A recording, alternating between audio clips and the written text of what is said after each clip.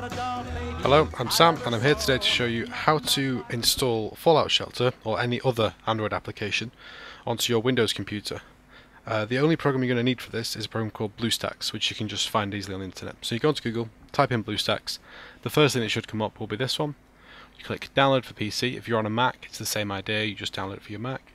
You run the program and install it like this, you might get a black screen. Run through the installer, you don't need to untick or change anything on the installer, it doesn't contain any malware. Just run through it, and once it's installed, we'll move on to the next step.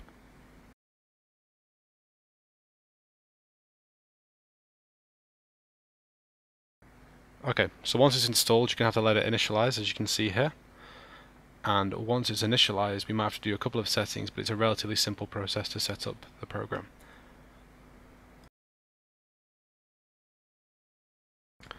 So once the program is finished initializing, it'll load up like this, and then you've got a version of Android ready on your computer. Now you have to set it up, so I choose not to do location, but it's really up to you. Some apps do depend on it, um, but I'd turn it off for this example. And then you're going to want to go onto the search up at the top. As you can see, there's loads of other applications you can use and things that are already made and built into it, which you can download easily. You're going to type in Fallout Shelter. It doesn't really matter what you type in at this point because we're just doing the setup. So as you can see here, you're going to have to enable this synchronization service. And now it's going to ask you to sign into your Google account. I left that out because obviously you don't use my account. And then you don't want to tick either of these boxes because you're not actually using it as a proper Android device. You want to sort of keep it separate, or at least I do. Uh, after that, it's going to ask you to sign into your account again. Just click next. That might not have worked, but it'll ask you again later if it didn't.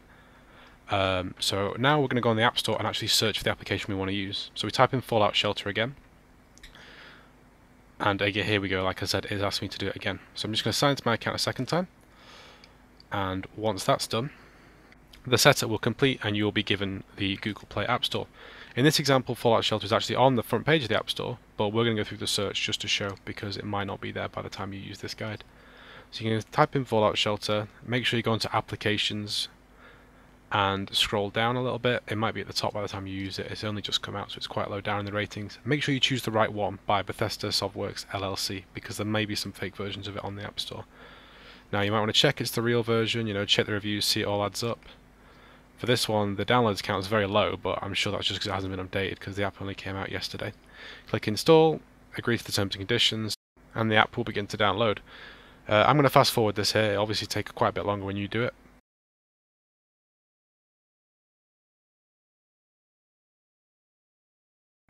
Okay, so once that's downloaded, it'll install. You click the open button. You might get a little notification telling you it's been done if you tabbed out.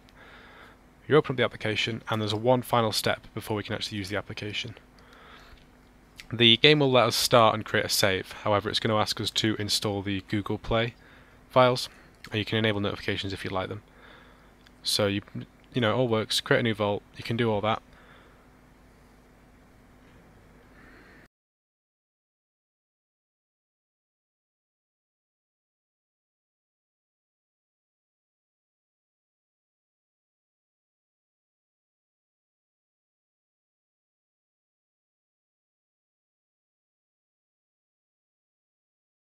Okay, so now it's going to ask us about the Google Play files that it needs. So you just, it'll open it up for you. You click install, click accept, it'll download. Uh, you may have to restart Fallout Shelter, as I do in the example here, but you might not have to either. The first time it didn't want me to do it, the second time it did, so... Um, if that pops up, you might need to restart it as I do here. So just close it,